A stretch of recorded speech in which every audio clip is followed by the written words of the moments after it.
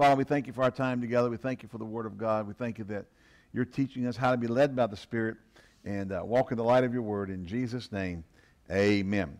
Uh, last week we began on part three, talking about the ways we live by the Spirit of God. And the number one way was through the inward witness. Number two, with the inward voice, which is the conscience. Number three, the voice of the Spirit. We kind of covered that, and then we were going we were going to get to, and we didn't get to. So I'm not sure how long this will take us. It might take us the whole service. It may take us less, but you know what? That's okay. Other ways, of, other than the primary three ways of the inward witness, the inward voice, which is the conscience, or the, or the voice of the Spirit, that He leads us. Uh, let's look at Acts chapter 27, verses 9 and 10. Acts 27, 9 and 10. Paul speaking here says, Now when much time was spent and when sailing was now dangerous because the fast was now already past, Paul admonished them and said unto them, Sirs, I perceive that this voyage will be with hurt and much damage, not only of the lading and ship, but also of our lives. Now, um, the word here, if you sometimes perceive, can be used almost be in line with the inward witness. You know, you had a you had a knowing, whatever. But this particular Greek word uh, comes from um, theora, T H E O R something. Oh, again, I think. But it comes from a classical Greek word meaning to look into, to see. Uh, it's migration through Septuagint usage and then into uh, classical New Testament Greek usage came to mean to, to see um, in a figurative sense and so what Paul is saying here is, uh, I see, and this is hard to explain, but you know, it's almost like when you, in certain things in the spirit, you, you can see it, not a vision, not, not you know, got up and had a vision. Maybe something the kind of dad used to call like a mini vision. He used to that. Uh, that's what I call a mini vision. M-I-N-I. That's what he always said. Mini vision. but Paul perceived, or it's like he saw everything that was going to happen without having a vision. And so that, that was his, he perceived, that's what this Greek word kind of means to see figuratively. And so uh, they were on this trip, and he saw the outcome of what was headed their way in, in, a, in a perception. And so God can lead us that way. You could see things, you could see outcomes, you see the things ahead. Again, not necessarily in vision form, but in perception, you have the picture painted. And uh, here's one of those cases where Paul had that happen. And, um, and, and, and, in the end, it happened pretty much except that all their lives were saved. Okay, remember the angel the Lord stood by him that night and said, I'll, I'll give you all those, you know, the losership, but all those with you will live. Um, so it was a warning. They didn't listen. You know, uh, you need to listen to God. Uh, or when people are walking in the Spirit, you need to listen to them if they're really walking in the Spirit. I'm not talking about fruit, fruitcake stuff. You got you got to have um, some spiritual journey under your belt. Um, you got to have some spiritual credentials before you start going around telling everybody what they're supposed to do and not to do. And even this guy didn't tell him not to do it. He just said, I, he said, I just perceive this is what's going to happen. And um, in that particular case. So per- perception, this perceiving here, we only had this happen one time that we, that we actually have a record of in the, in, the, in the book of Acts, New Testament. Let's move into some of the spectacular guidances. Now, Paul, when he was before King Agrippa, said in Acts 26, 19, I, uh, whereupon, O King Agrippa, I was not disobedient under the heavenly vision. And we have that vision recounted, uh, recorded in Acts 9, uh, 10, 9 through 11 and 19 through 20. So let's read that. On the morrow, as they went on their way, journey, on, on, their journey, and drew nigh to the city, Peter went up the, uh, upon the housetop. Um, did I say Paul meant Peter? Um, Peter said before King Agrippa, upon the housetop to pray about the sixth hour. And he became very hungry and would have eaten while they were ready, but he fell into a trance. And he said, and, and he saw heaven open and a certain, just forget what I said about who, who, who told Agrippa. We'll, we'll figure that out here. Okay? Uh, on the morrow, as they went to their journey and drew nigh to the city, Peter went up on the housetop to pray about the sixth hour, and being very hungry, he would have eaten, but while they made ready, he fell into a trance, and saw heaven opened and a certain vessel descending unto him, and it had been a great sheet knit at four corners and let down to the earth. While Peter thought on these on the vision, The Spirit said unto him, Behold, three men seek thee. Rise therefore, go down and, and um, go down, get thee down, and go with them, doubting nothing, for I have sent them. And um, so we have him going down, and we know what happens at that point. He goes to, uh, he goes back to Cornelius' house. They get saved, baptized the Holy Ghost. But what did this was a vision. Peter says, as he thought on the vision, the Holy Ghost said. And it was a symbolic vision. It was an allegorical vision. It wasn't a, you know, you shall eat pork and so forth, which, you know, we know from this we can, thank God. Barbecue. Anyway, but it was an allegory of, because uh, remember, it actually goes on in, these verses we didn't read. Uh, not so, he said, rise, kill, Peter, eat. And he said, not so, Lord, nothing unclean has ever crossed my lips. And he said, what the Lord has cleansed, thou shalt not call it unclean, etc. And then, and then it becomes apparent that he's, he's sent these men, that vision was given as a allegory to them that the Gentiles are now acceptable before God. Okay? All right? And so um, um, I was um, trying to get back to.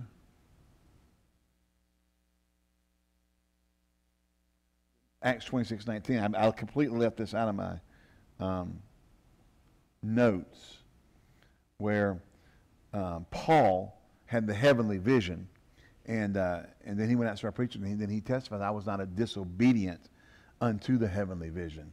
Okay, I got to get completely left out of my notes. Somehow I'm to have to go back and put them back in there because uh, that's that's that needs to be in there. Okay. Um, but Paul goes before he has a vision. Okay, and the Lord the Lord told him and said, "I'll show him great things he must suffer for my name's sake." Amen. And he sent him to the Gentiles and sent Peter to the Jews. And then he told him, I was not disobedient to the heavenly vision. And so this is, this is spectacular guidance. Um, another area of vision we had leading was, was, in, the, was, was in, the, in the Gospels where um, uh, Joseph, Mary's husband, on several occasions had an angel appear to him and give him direction. Mary had an angel appear to her and tell her about Jesus. Joseph had, had dreams and had visions within the dreams of what God wanted him to do leave Egypt, go to Egypt, leave Egypt, go here, go do, I mean, all, you know, until Jesus was safe and, and ready to grow up and become who he was, Joseph had been led by visions. So we, we refer to these as spectacular guidance. These are not everyday occurrences.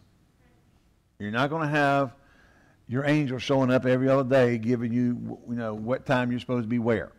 He's not your daytimer. All right? Just not. Angels are not there to show up every other day or every three days to give you what you're supposed to do and all that kind of stuff. We have recorded in the Bible when visions take place and manifestations take place along these lines. It is considered spectacular because it doesn't happen that often that we have recorded. Okay? Jesus had the angels, angels uh, come and minister to him in the Garden of Gethsemane.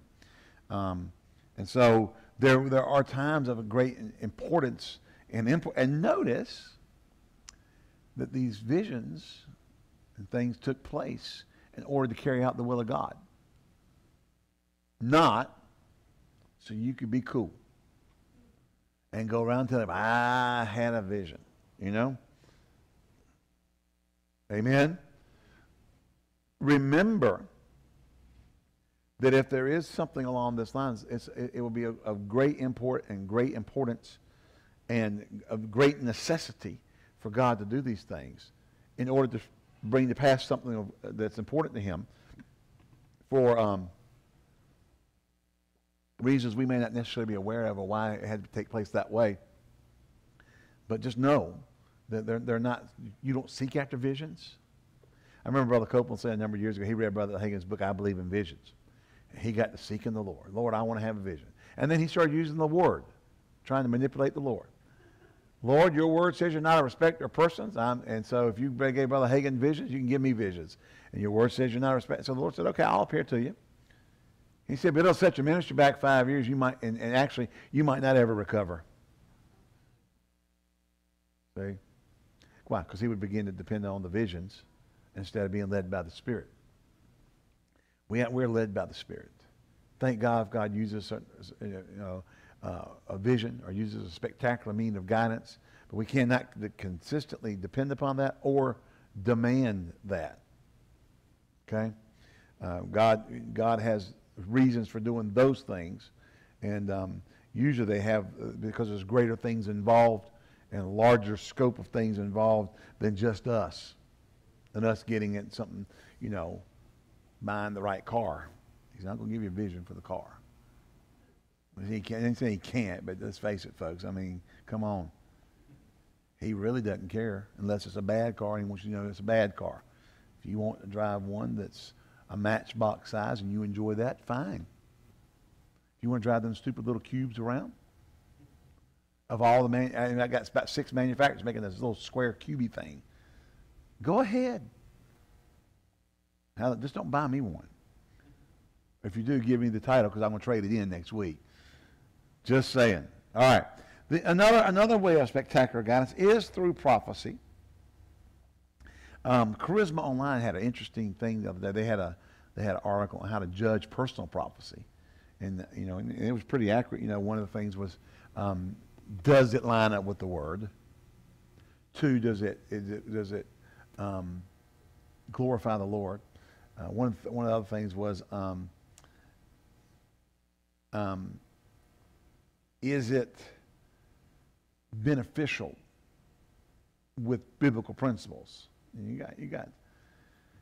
That's not going to give you a word just so you can run around talking about how big, how wonderful you are as a Christian. Oh, you're the greatest Christian that's ever walked the face of the earth. You ain't going to get nothing like that. Okay? But, but there are prophecies. God does use the, the prophetical utterance. Um, but again, we've talked about this earlier, how that it, it has to be judgeable by those in higher authority and those who know the voice of God. And um, it has to be in line with the written word. Um, it should not elevate the individual to a place of that's beyond what he, he is or she is. You know, you got people prophesying that, you know, they're sending out all these prophets all over the world. We're, we're sending out a thousand prophets, you know. They're kind of trying to follow the old school of the prophets thing. Well, I got news for you. The school of the prophets ain't here anymore.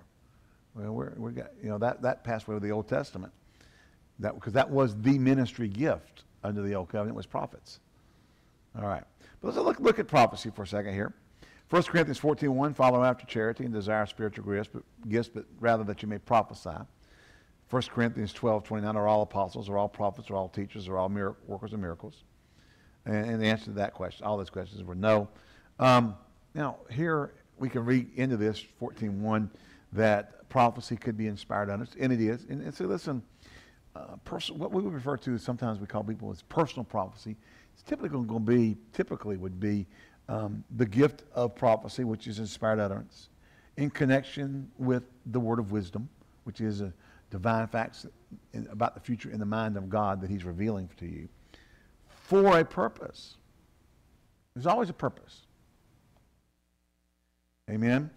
And it is to set in motion His will and His purpose, not to lift you up and to build up your ego. Okay? Um, and so let's look here at an example of a prophecy. And now, behold, I go, I, Paul's talking here. I go bound in the Spirit in Jerusalem, not knowing these things that shall befall me there, save that the Holy Ghost witnesseth in every city, saying that bonds and afflictions abide me. Now, here he has a word from the Lord everywhere he goes. Now, this is kind of interesting. Nowhere does it say don't go. The word he said was that afflictions and bonds abide me, uh, uh, uh wait for me there. Okay? And then Acts 21 4, and finding certain disciples, we tarried there seven days, who said to Paul through the Spirit that he should not go to Jerusalem. And that seems to be a contradiction what I just said, right? Except the Greek structure for this particular phrase, through the Spirit, is just awkwardly translated. And so its true meaning, and studying that out, is this. And finding certain disciples, we tarried there seven days, who said to Paul, because of what the Spirit said, that he should not go up to Jerusalem. And they didn't want to go because they knew what was going to happen. And that makes that's a whole different take. Because of what the Spirit said, versus who said through the Spirit he should not go. If he said through the Spirit should not go, then he disobeyed God. But yet, the Lord told Paul in the beginning what things he must suffer for his name's sake. Okay?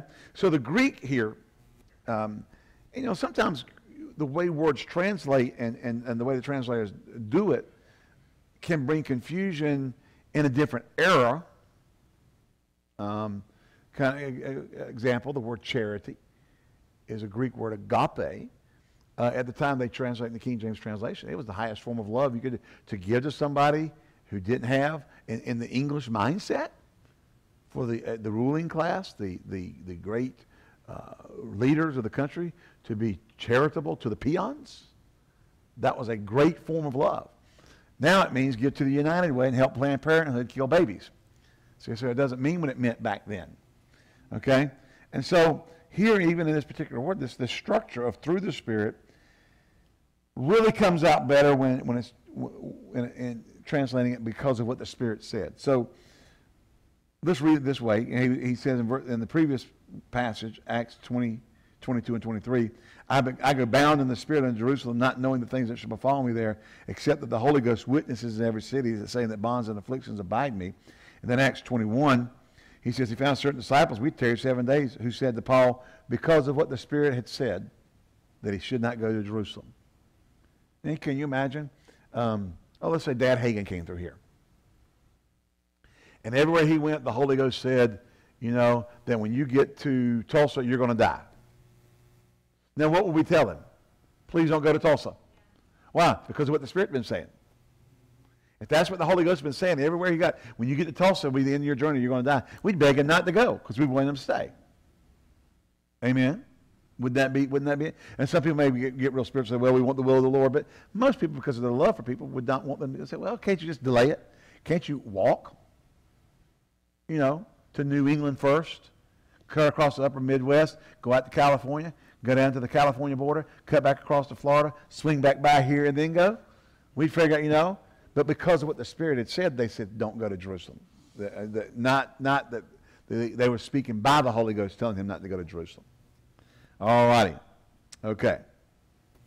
And uh, Acts 21, and the next day we went, we were of Paul's company, departed, and came to Caesarea, where we entered into the house of Philip the evangelist, which was uh, one of the seven, and abode with him. And the same man had four daughters, virgins, which did prophesy. Hallelujah. And as we tarried there many days, there came down from Judea a certain prophet named Agabus. And he, when he was coming to us, he took Paul's girdle, bound his own hands and feet, and said, Thus saith the Holy Ghost, So shall the Jews at Jerusalem bind the man that owneth this girdle, and shall deliver him to the hand of the Gentiles. But notice what he didn't say. What didn't he say? He didn't say, Don't go. He just told him what was coming. Remember, the Lord said, I will show him how great things he must suffer for my name's sake. Remember when he's talking when he was talking to um No.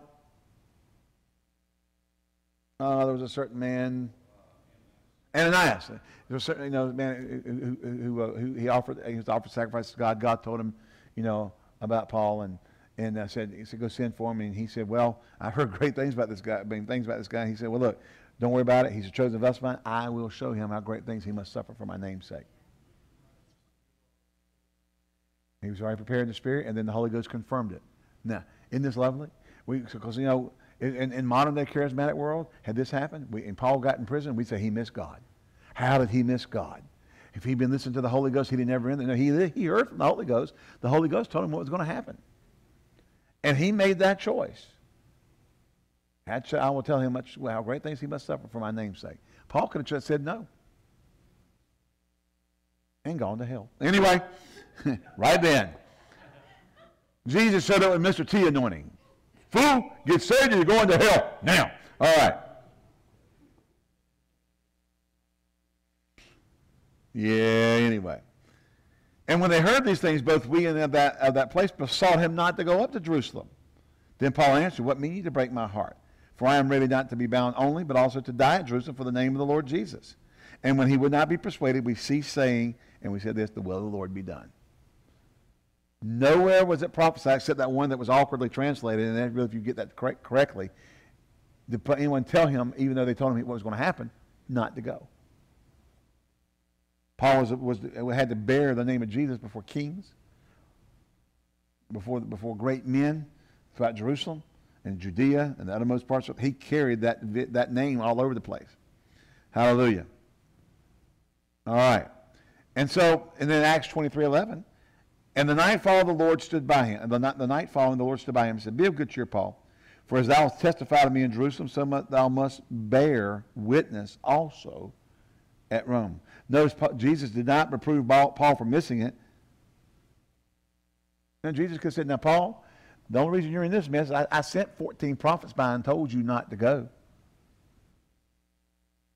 But the Lord didn't tell him that, did he? As a matter of fact, the Lord said, Be of good cheer, just as you've testified to me here, you're going to do it in Rome. You know? And remember in one case there, when, when all this when all the stuff was going on with Paul, um, they were getting to question whatever, and he said, I, I appealed to Caesar. Now he could have now actually they come in and said we would have let him go, except he appealed to Caesar. He was just told what was going to happen, accepted it, knew it was what he was going to to do for the Lord, and accepted that course of his life. Amen. Dad Hagin used to say about his life, he said, I would never recommend, recommend anybody to do what I did. But the Lord told him he, he needed him to do that. And it was a great price to pay. His family uh, lost years of actual time with him while he was traveling. Sometimes he'd drive all night long just to get to sleep in the same bed with, with, with his wife and get up next morning and see the kids and be back on the road again for two and three months and not see them. He says, I, I don't recommend anybody do that. But, but there was a price to pay to do what the Lord had called him to do. And there was an important price. And, um, you know, it, it, was a difficult thing. It was difficult for the kids. It was difficult for the grandkids. But he had to obey God. But he, he would say, he said, I, I just don't recommend anybody do this. If you don't have to do this, don't do this. And if the Lord tells you you got to do something, you got to do it. Amen.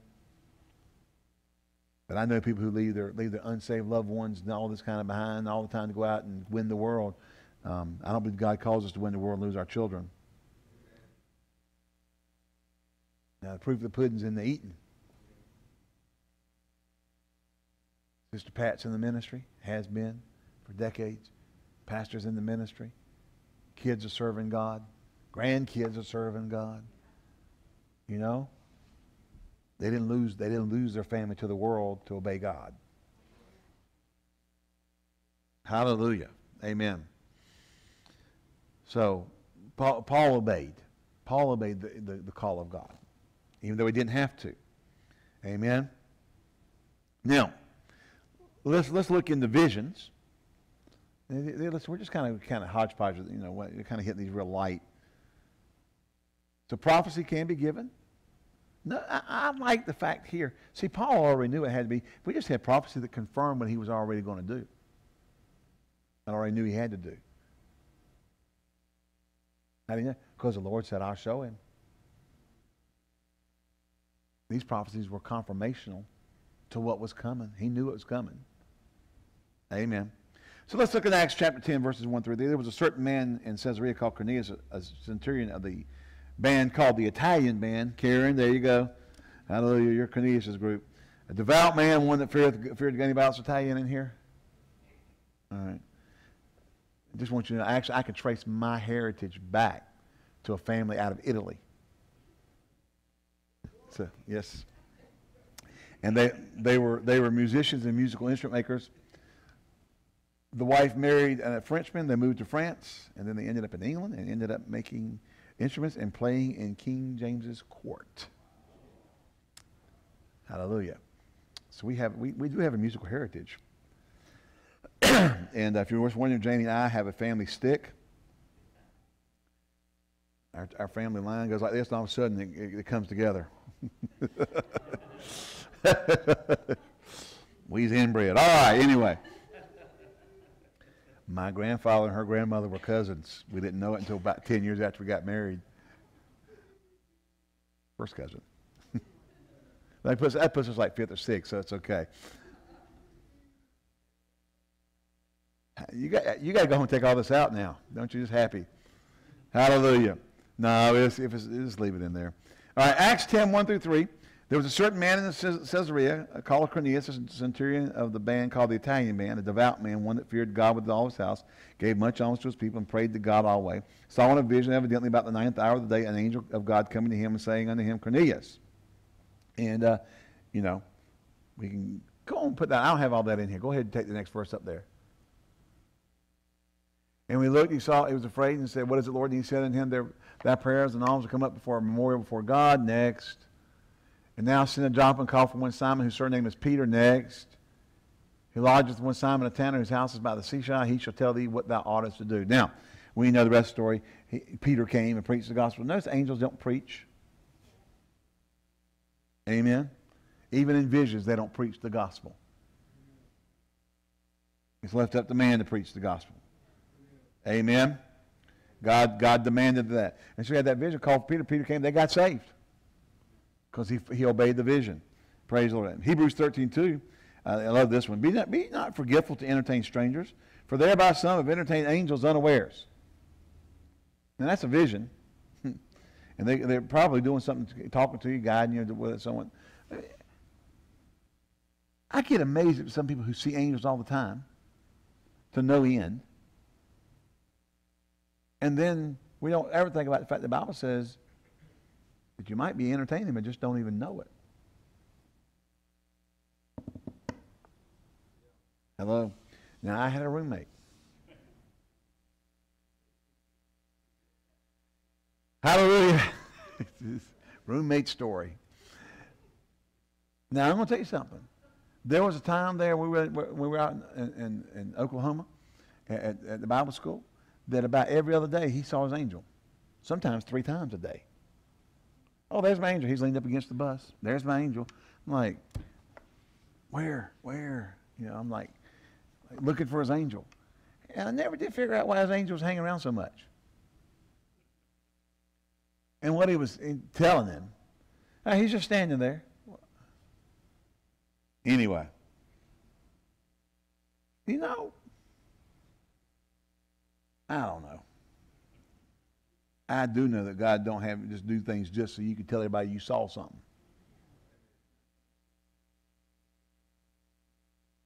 Amen. He's not running around telling you, oh, there's you, uh, 55 times in a week. I saw my angel. My angel's doing this. He's over there doing that. He's standing there smiling at me. Well, he's supposed to be out doing stuff for you. They're ministering spirits sent for the to, to, to as service of the of the righteous. Amen.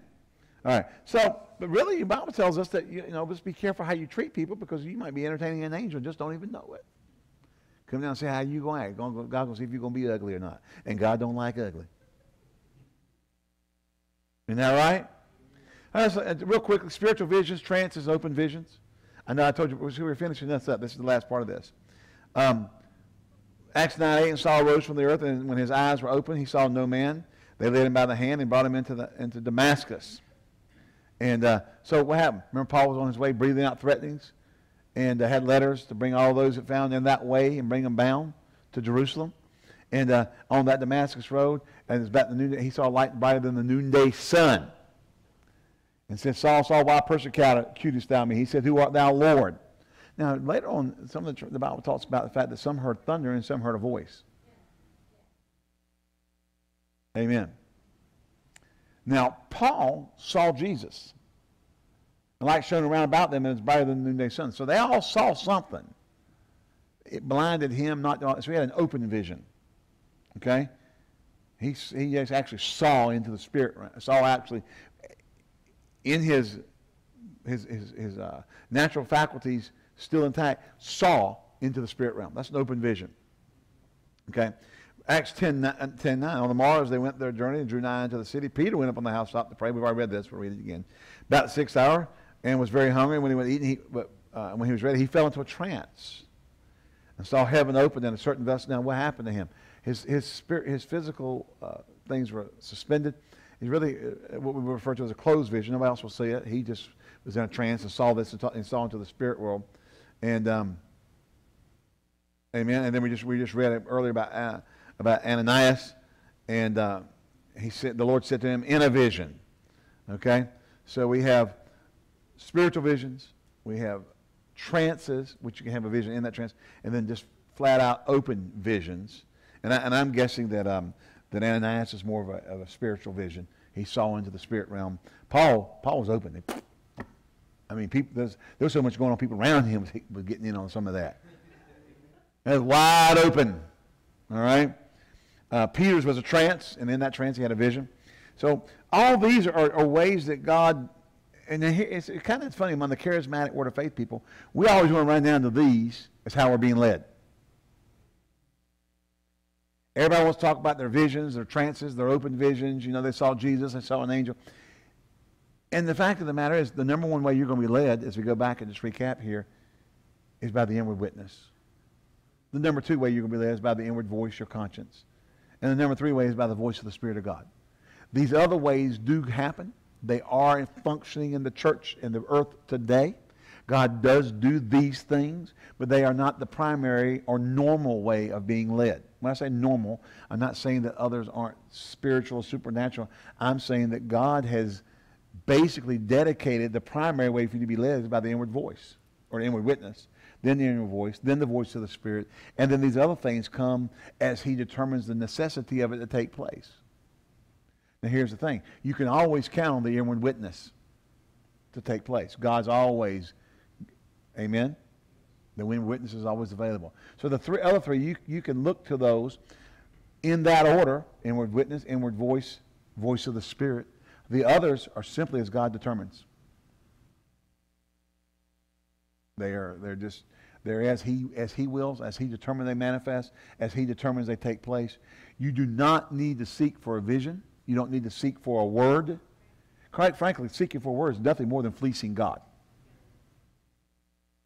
If you speak and say, Yea, thou art, the, thou art my son, and I am your God, and you're supposed to do this, and, and I obey, that's a fleece. And we talk about being fleeced. Amen. You seek after a word, somebody will give you one. I said, I guarantee, doggone it, double doggone, that if you go seeking after words, somebody will show up and give it to you. And it won't be the Holy Ghost. The devil will accommodate you and give you what you want to hear. If you reject sound counsel, if you reject what God's already shown you, and go seeking after something else, the devil will find somebody to bring it to you. That's just guaranteed. And then people, people, and then you run off and say, "Oh, the Lord showed me. The Lord told me." I, because so and so said, the Lord said to tell you.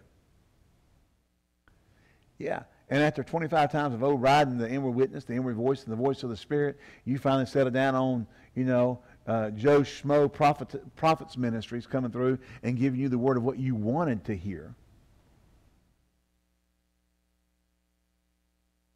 I'm sure Paul didn't want to hear. So shall the man who owns this girdle be bound and carried to Jerusalem. I'm sure he didn't want to hear that bonds awaited him there, and it was witnessed in every city he went into. Wow, the Holy Ghost was saying it. And I'm going to be honest with you, I think that was as much for the church as it was, uh, uh, or more so than for him. Because you know what they would have been doing? The devil would have come in and said to all those churches, Paul missed it. He claimed that he walked with God and heard from God and communed with God, and if he was hearing from God, he would have never gotten into Jerusalem and got bound and put in prison. But the Holy Ghost witnessed in every city. Sometimes things are for the people as much as anything else. I've seen prophecies given over people that I know was more for the congregation or the people in that uh, audience than it was for the person. The person already knew it, but God was confirming that to the people. Y'all hear you going home. So don't go seeking what you want to hear.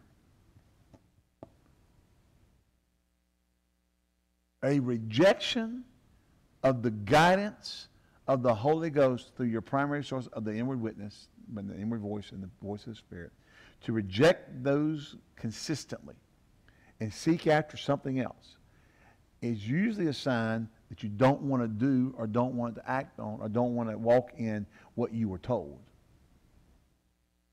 I see it happen all the time. Now, I talked to someone one time. They told me, they said they got married, married somebody, and, and, and a spiritual leader in their life told them three times that they weren't supposed to, and actually they said, got pretty stern with them. They weren't supposed to marry them. And they knew it. They got mad and just blew it off and went and did it anyway. And then the wife told him later, said, well, after they got divorced later, the wife said, I never did love you.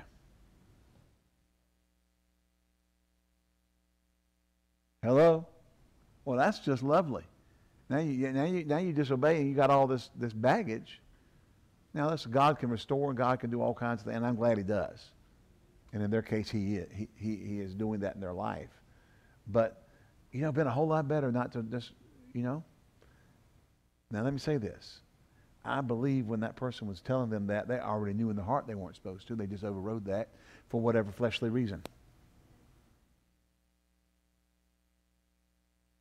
Men, let me just tell you flat out. The fact that she's pretty ain't a good enough reason. Oh my God. Women, just because he's a hunk it makes you sweat.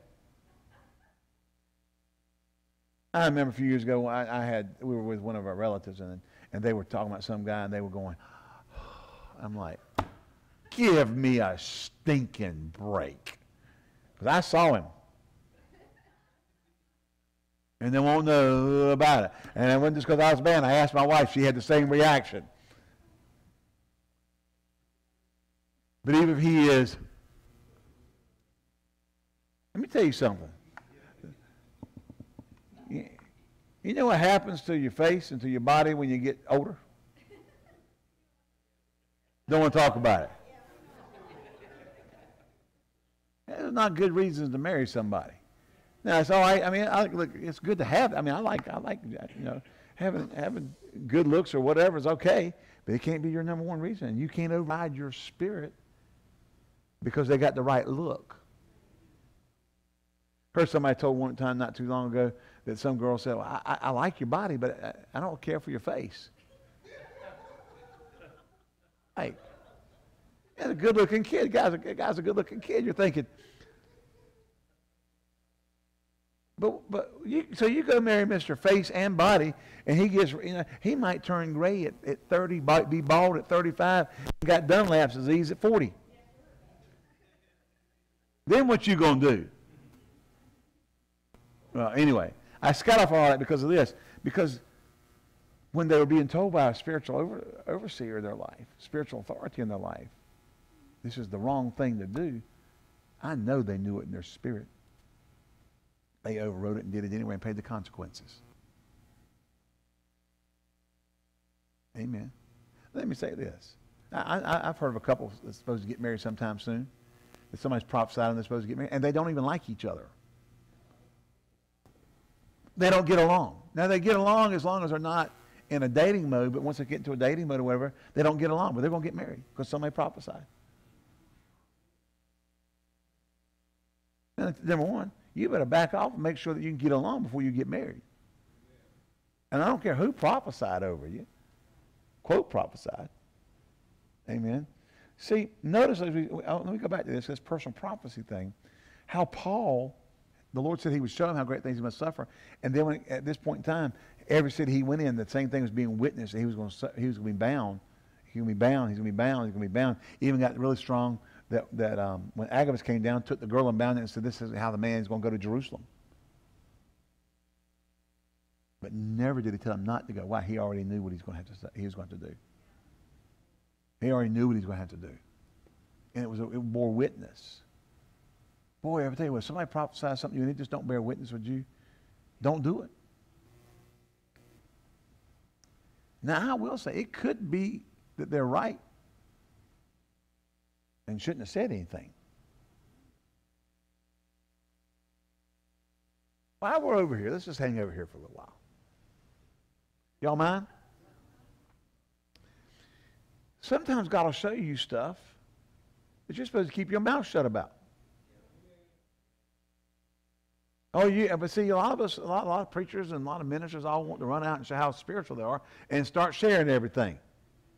Oh, the Lord shows me that you're going to do this and you're going to do that and you're supposed to do this. Listen, I've had people come up and, and, and share stuff with me and, and want me to pray with them, and I pray with them, and all the while I know what the outcome is going to be.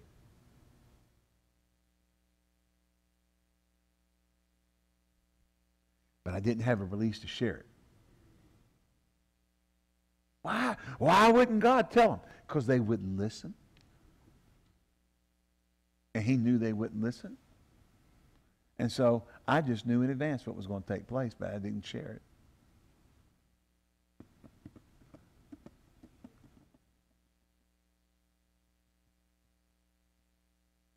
We have to learn to discern the, the, the, the, things of God and walk in the realm of the Spirit in a way that we follow God and not our own flesh and our own whims and desires. Now, I'm going to tell you something. You start blabbing your mouth and not doing what God tells you to do with stuff, He'll stop telling you stuff. He'll just stop talking to you about things. Because you can't trust you to keep your big blab mouth shut. Hello? I said, hello? Oh my. We're all concerned about how much sin we can get away with and still get to heaven. And God wants to walk into a vein and a place where we, we walk in the Spirit. We walk in the supernatural. We won't write books about how it doesn't matter what you do, you still get to go to heaven.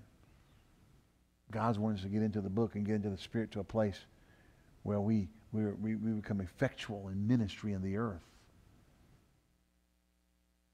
How he longs for the church to rise up. But we're going to have to learn to be led by, how to be led by the Spirit of God. Be sensitive to the voice of the Spirit. Sensitive to the Holy Ghost. If we're going to walk in that place. I read a post by my uh, good friend Guy Duininck the other day, and he said, People say if you're a leader and nobody's following you, you're not a good leader. But what are the true qualities of leadership? It's not how big your following is. He said, do you have, do you have strong biblical principles? Do you live and walk in those principles and endeavor to get other people to, to see those same principles and walk in them also? Not how big your following is. Because you can get people to follow you with gimmicks. It don't make you a leader. It makes you a shyster. Know, Jim Jones got them all drink the Kool-Aid and kill themselves.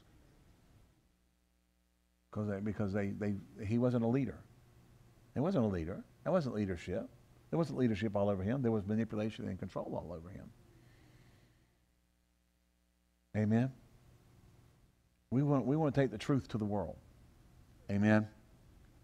We're going to have to be led by the Spirit and walk in the Spirit to do that.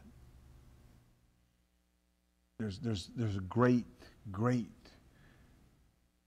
the world's in upheaval right now. Have anybody been looking at the news lately? North Korea's army is saying they just got the go-ahead to, to uh, use nukes against the United States. Now, we, they, nobody thinks they really have intercontinental missile capability at this point. I don't want to find out.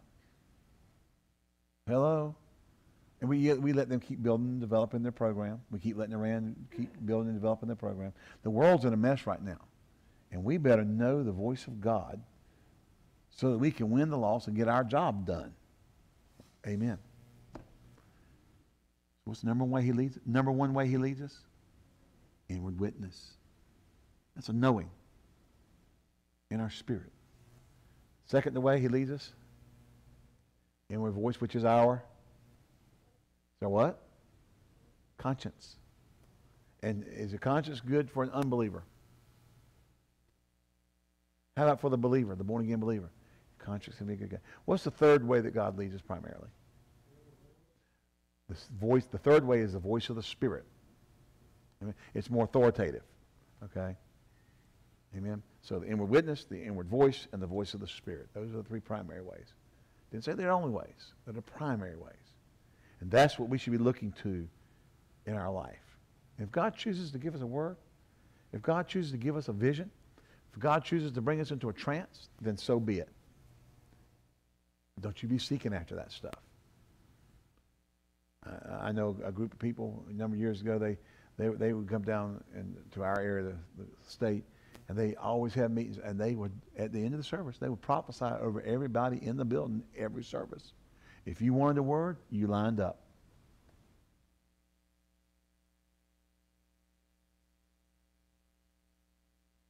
Now it makes people feel good. Because I don't, I never heard one like, so shall this person be. They'll go bound Hello? Never heard one of those. I never heard one of those. Are you here? You gone home? See, um, oh my. We think prophecy is always going to be hunky-dory and lovely. Sitting in, um, oh, I guess my,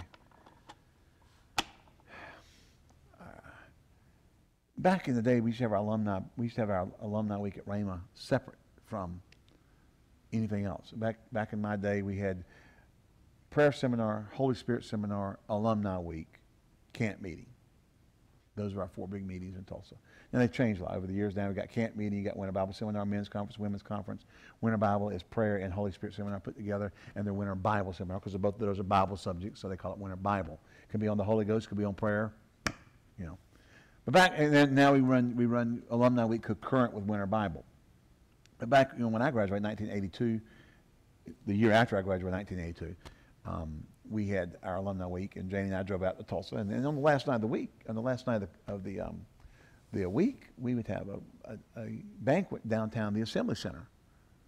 And so, you know, we went, you know, we go to the, the banquet at the Assembly Center, and you know, we'd all eat and talk and carry on. And then Brother Hagin would get up and start to talk and share. And and, he, and that, that that 1982, he got up when I, uh, he went, air, air. Another year shall come and go. And there'll be those that are among us tonight that will not be with us.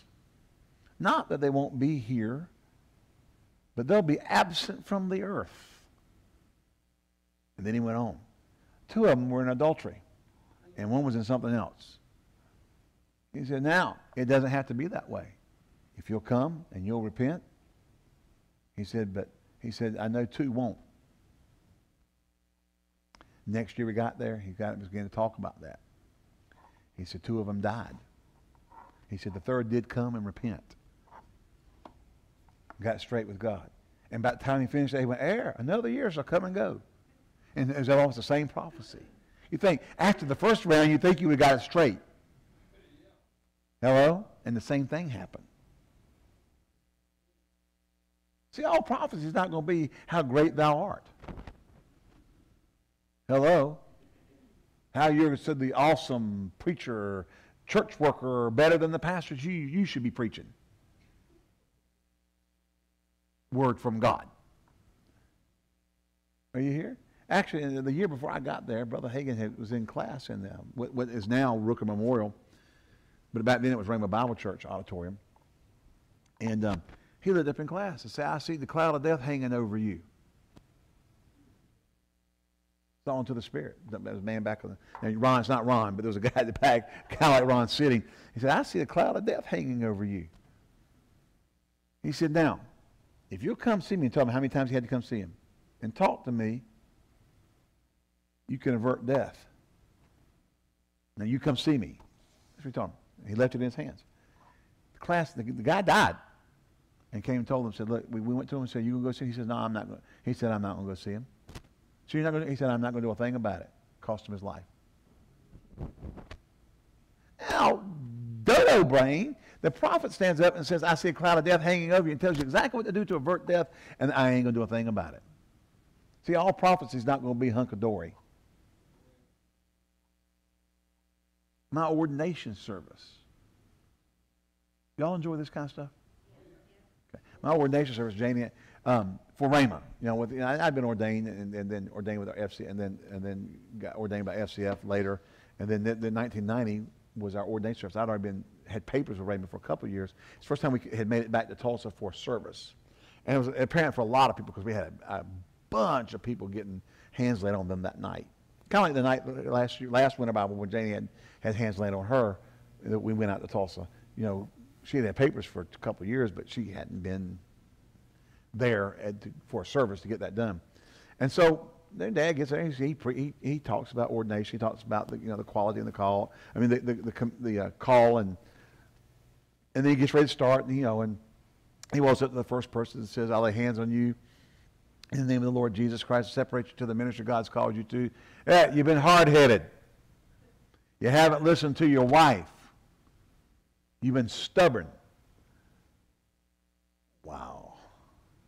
About the next five or six people, he went down the line did the same thing too. Apparently, a bunch of guys won't listen to their wives. And then after and I got to a certain point in the line, and and and I'm because you know when he started out, you know, you know, going down the line with that, oh praise God, I might get a word from the from the prophet tonight. By the time he, by the time he started that, I'm thinking, I don't want a word tonight. It's amazing how you want a word when it's going to be good, and when it starts out like that, you don't want one. Hallelujah. And so he got about he got certain place down the line. I mean, 15, 20 couples down the line. He he got over in tongues as he often did when he got into a ministry line of some type, and just started I lay hand in speaking tongues and going down the line. So that's what got that's what we got. And I was just like, oh, praise God. It's going to be recorded. It's on television. I mean, it's going to be on the tape. Everybody that was here tonight is going to buy that tape, and everybody's going to see who got spoken to about not listening to their wife. It's just kind of interesting how oftentimes we think everything is one way, and in the actual practice from Bible and so forth, it's not always the way we see it.